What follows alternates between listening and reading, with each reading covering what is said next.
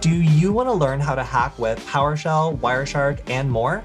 Come hack with us every week on the Hacking with Friends live stream, where we'll try and sometimes fail to try out new hacking tools. And you could be in the middle of the woods on a hike and someone could pop up Google Starbucks and like your phone would just connect and like anything you saw could be compromised or could be faked by an attacker at that point.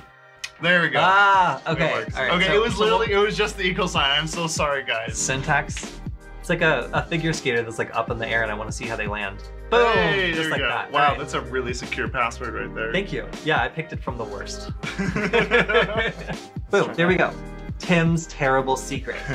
So this immediately stops our attack. As soon as we find a password that matches the handshake we captured earlier, we know we've got the right one. You can catch the Hacking with Friends live stream every Tuesday at 10 a.m. Pacific time and Friday at 2 p.m. Pacific, 11 a.m. Eastern.